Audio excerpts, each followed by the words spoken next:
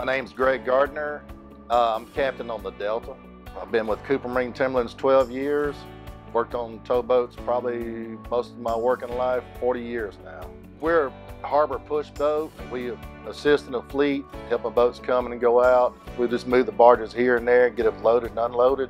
Mostly we got uh, steel barges, scrap steel up to steel mills, uh, down at Chipco facility. We'll be shuffling the barges down there one at a time, loading pig iron. We do a little bit of everything.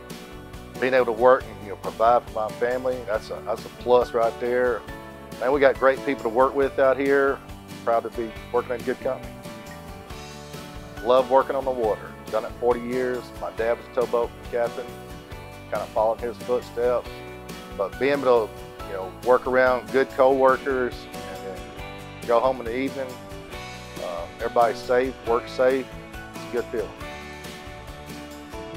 I'm Greg Gardner. I'm proud to be working at Cooper Marine Timber.